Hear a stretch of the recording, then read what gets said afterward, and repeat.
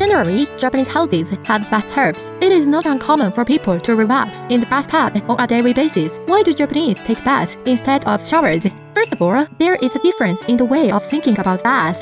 Overseas, the basic idea is that the bathroom is a place to clean themselves. For Japanese, however, the bathroom is also a place to relax. This culture is also reflected hot springs. There is also a difference between Japan and other countries in the way hot water is prepared. Overseas, hot water is made in advance using a tank system. Hot water stored in a tank is used. Therefore, you cannot use a large amount of hot water at a time, and you have to wait until hot water is stored again when you run out. Some tanks cannot store enough hot water to fill a bathtub. In Japan, however, both gas and electric tanks can boil water immediately. You might run out of hot water immediately. This is the reason why Japanese are able to enjoy a relaxing bath without this kind of stress.